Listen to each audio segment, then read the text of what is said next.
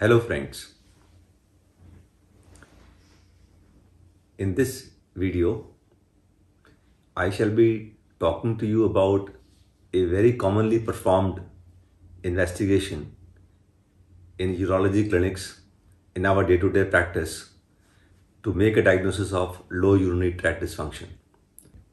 This test is called uroflowmetry and in the present video I will first tell you about why do we do this test.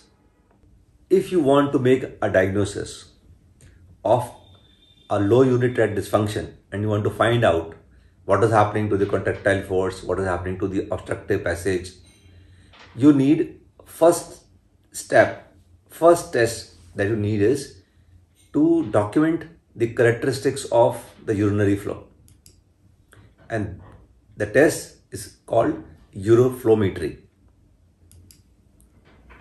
Actually speaking, this is a computerized measurement of the urinary flow related characteristics, various characteristics, as I'll tell you shortly. And then it generates an objective printout of the, the flow pattern, the flow rates, flow time, so many things. And you have a printout. The printout can be stored and can be used as a future reference. So it is an objective transformation of subjective symptomatology of the patient. Now you may ask me, when do we perform this test? What are the indications of this test? So we sometimes do this test as a first time screening test just to find out what is happening to the low urinary tract. This is called screening test or this can be done as a follow-up test. One test has been done, some treatment has been given and you want to repeat the test. So there are two scenarios of using this test. One is for primary diagnosis making and then second time is for follow-up. For primary diagnosis making, this test is very commonly used for those patients who come with clinically manifest problems of the urinary stream. Like that, they'll say, my stream is either slow, my stream is thin, or I feel obstructed when I pass urine. They have the clinical symptom. It's a manifest problem, right? So for that, this test is very commonly ordered. But we also do this test for what is called as clinically hidden low urinary tract dysfunction. Now let me explain what I mean by this. In the clinically manifest group, two very common disorders that surface. One is bladder dysfunction and second is outlet obstruction. This is very common. But when we come to clinically hidden category, there are patients who have long-standing diabetes. They have various problems related to diabetes, but they do not make upfront a complaint of low urinary tract symptoms. So in them, if you suspect a low urinary tract disorder because of renal failure, because of UTI, or because of palpable bladder, then you, this is not patient not symptomatic, but this is hidden low urinary tract dysfunction which is suspected. So this test is ordered. Then there are patients who come with recurrent low urinary tract infection, both men and women, and also children. And when they come with recurrent urinary infection, you suspect that there may be some outflow obstruction to urinary bladder and to diagnose that hidden bladder outflow obstruction you do this screening investigation of uroflowmetry. Then there are patients of persistent overactive bladder who have frequency urgency nocturia. They give them treatment, they do not respond. And then you suspect, is there a bladder outflow obstruction which may be responsible or which may be a causative factor for the overactive bladder and then you order a uroflowmetry test. And then there are a lot of patients of spinal disease, brain disease, neurological disease, where dominant clinical picture is of neurological disease. But in addition to that, sometimes you suspect ongoing low urinary tract dysfunction and you order a uroflowmetry test.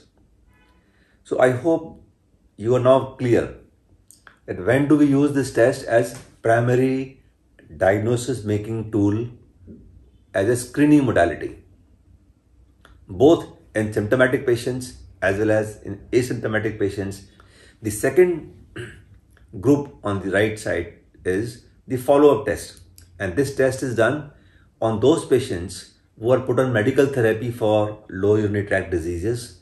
Common examples are BPH, neurogenic bladder, overactive bladder, or dysfunctional voiding syndromes in children and in females. All these four category patients are treated medically and at frequent intervals, depending upon the institutional practice or your own personal practice, you may like to repeat this test again and again. Then there are patients who undergo surgical treatment on low urinary tract. And to see the outcome of surgical procedure, you do this follow-up test. And common examples here are transurethral resection of prostate, radical prostatectomy, urethroplasty, direct vision internal urethrotomy, bladder reconstruction surgery, or anti-incontinence surgery, the slings, etc. for females and men. So these are four common operations that we do and to see the result of operation. Or if patient is fine initially, in subsequent follow-up, whether the patient is maintaining same level of success or is getting a problem in future, we do this test as follow-up modality. And then you can compare test A to test B and to test C and you have a documentary evidence in front of you how the disease is progressing. But then friends, as is true with any investigation, you should know when not to perform this test. First of all, there can be patient related issues on account of which you may not like to do this test. Or there may be disease related issues. That disease means urological disease which is there in the patient.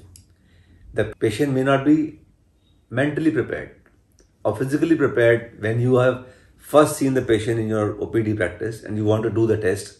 Patient may not be mentally prepared or he may be mentally, physically incapacitated to do the test. So there, please don't order. And secondly, if patient is severely constipated, this test should not be done because the results of the test may be fallacious.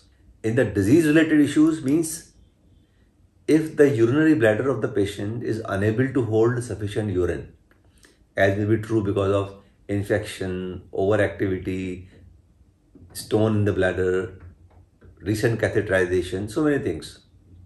Then doing uroflowmetry on a small bladder volume is not prudent. Or else your clinical judgment is telling you that it is not safe for the patient to hold urine in urinary bladder and this may happen if he's undergone some surgery on lower urinary tract recently. You want bladder to rest, not to function.